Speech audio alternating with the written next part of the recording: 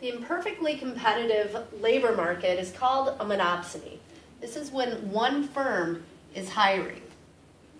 We label the axes with wage on the y-axis, quantity of workers on the x-axis, and we have a downward sloping marginal revenue product curve, which is the demand for labor curve in this market.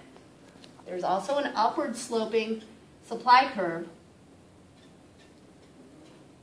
and a separate higher marginal resource cost curve. This is a result of when they have to hire additional workers, they must raise the wage not only to attract the new worker, but of all the previous workers who were willing to work at a lower wage, which makes the marginal resource cost higher than the supply of labor. Number, the profit maximizing number of workers that will be hired is where MRP equals MRC.